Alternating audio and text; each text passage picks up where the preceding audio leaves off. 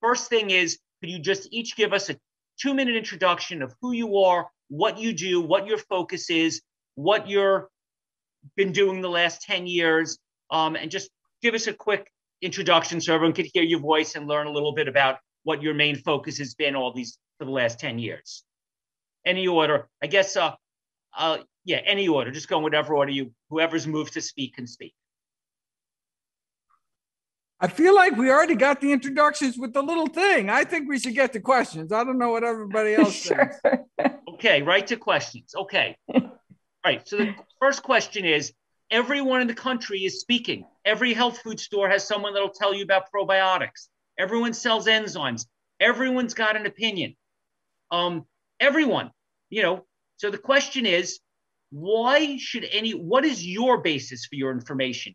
Do you tell us what you why you feel that the information what is the source? Do you read articles? Do you get educated? Do you see patients where does your source come from?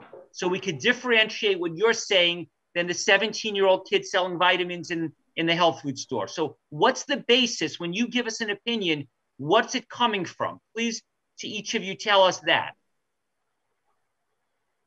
Any order is fine. Just whoever was moved to speak to speak out for me, it's four words peer reviewed medical literature. Tell us more. How much do you read of that? Do you read one article a year? What I'm missing, but what I'm missing is the clinical aspects that the other, um, uh, my other three panelists have that I don't have. I can tell you what the literature says, but I can't I don't have the years of experience actually dealing with people. And so that's why this is such an amazing panel and can't wait to hear what everyone has to say. Michael, could you just repeat the phrase though about all the things that you read? You, have said that you read every journal. Say what well, that phrase is. The, uh, well, the, the, I'm what does peer reviewed mean?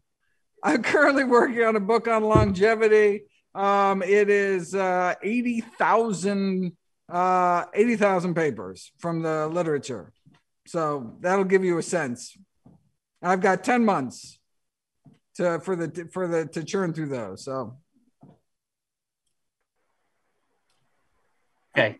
But just one more time, just repeat the phrase you've said that you go through every journal. I want to hear that exactly. Well, on the day, on, on the years that I'm not writing a new book, I read through every issue of every English language nutrition journal in the world, but there really aren't that many of them uh, just the nutrition journals. A lot of great nutritional science is published in internal medicine journals or cardiology journals. And uh, I only uh, happen to stumble across those if, uh, you know, a, a, search on a particular topic pull, pulls something up. So, how many articles a year are you generally reviewing about?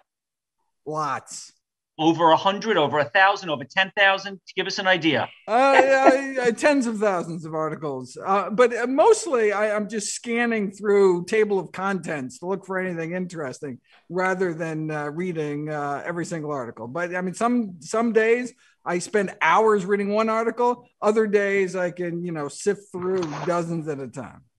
Got it. Uh, Steve, can you ask Michael to explain to the lay people what peer reviewed means? That, oh, that's a that's a really good question. So, a peer-reviewed scientific uh, literature means that you uh, before it actually is published, um, your scientific peers, those who should have a sense of whether what you're not you're saying is total BS or not, get to review it. Um, uh, I, uh, I, I assume everyone here uh, we have ourselves been peer reviewers for our peers. Um, and so you read through an article before it ever gets out to, to, the world, and you're like, wait a second, why did you do it this way? With the, the, you know, what you're saying isn't actually reflecting your data. Let's see the raw data, et cetera, et cetera. Now, is it a perfect system? By no means is it a perfect system, but it's the best we have. It's like what Winston Churchill said about democracy worst possible system of governance, except for all the others. And it's the same thing, peer reviewed scientific literature, worst way to do things, except for every other way. Um, and so this is what separates it from something you might see on the internet where anyone can just write anything crazy. At least there's a filter um, where just total craziness doesn't kind of get through, or at least you hope it doesn't. On the flip side of that, when I first, because I've, I've written two peer reviewed uh, medical journal articles, but when I wrote my very first book, and I obviously triangulated data and it was really important to me to get all you know i read the hundreds and thousands of articles too and all that.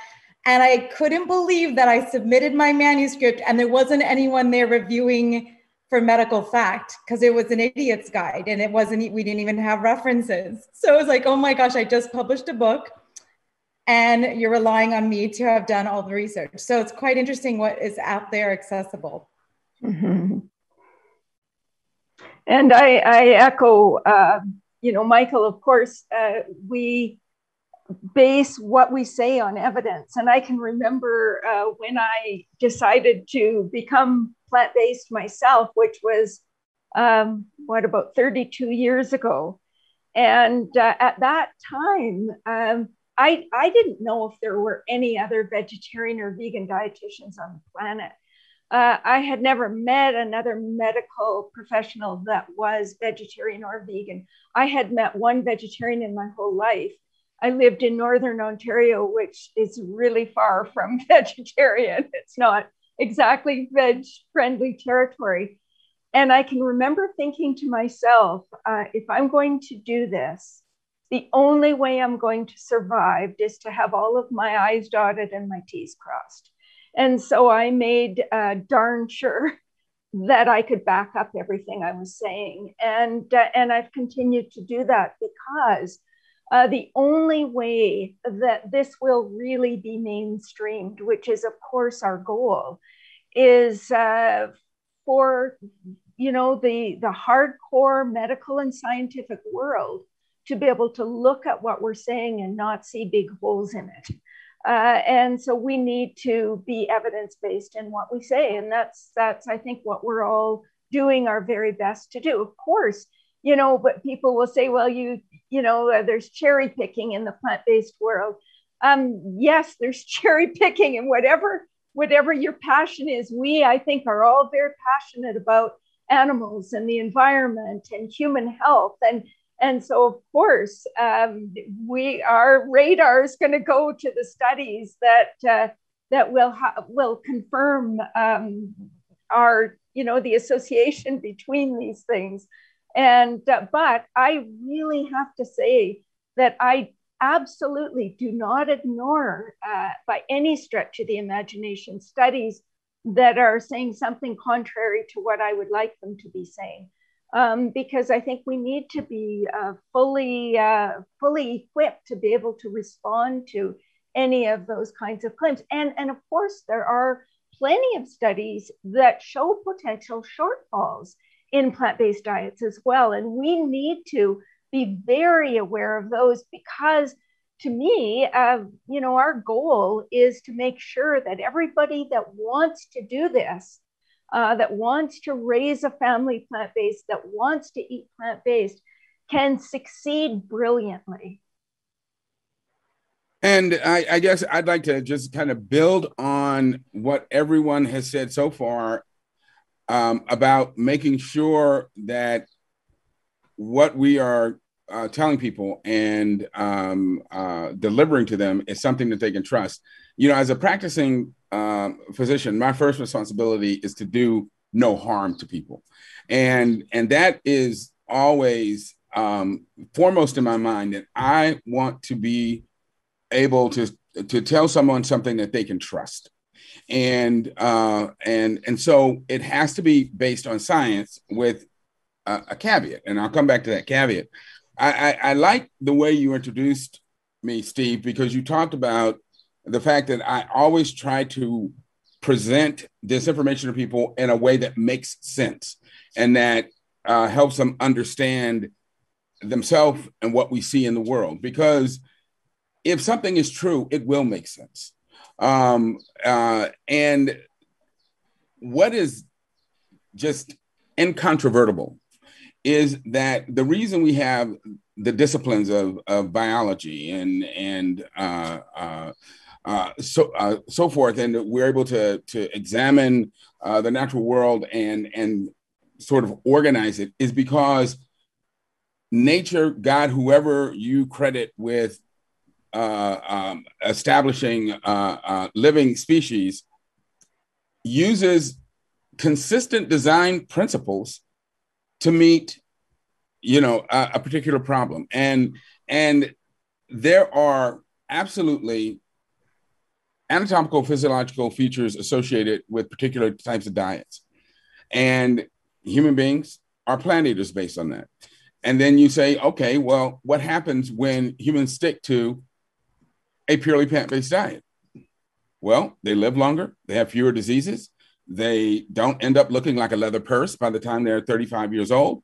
Um, they have less dementia. Um, they're more functional as they uh, um, uh, move through their lives. Their children um, uh, are uh, uh, have fewer health problems. It it it shows that that when human beings adhere to a plant based diet, um, we're healthier, we live longer, we do better. And there are some missing pieces um, in our understanding of certain aspects of, of uh, how plant based diets interface with our health and, and so forth. But you know, one of the one of the expressions that's often used in medicine that I kind of despise is you'll ask a question or you'll make a statement about uh, the benefits of something, and people say, "Well, there's no evidence for that." And what they mean by that is that there's no study somebody can uh, point to um, to establish, um, you know, the, the the the principle or, or point you're trying to make.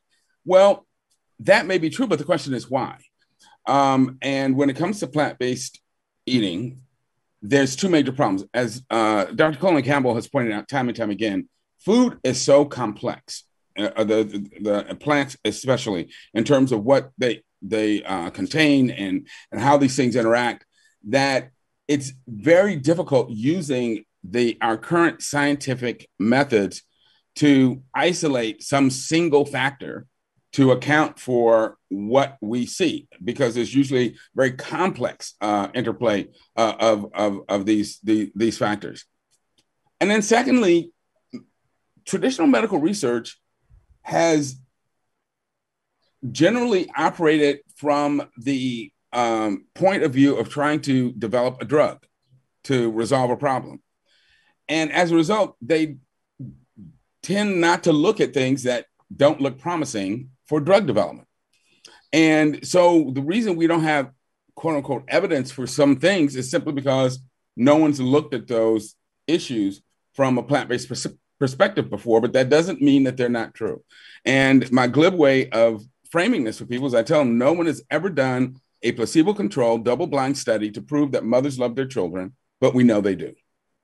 So, um, you know, the scientific method is not always the only or even the best method for trying to access fundamental truths.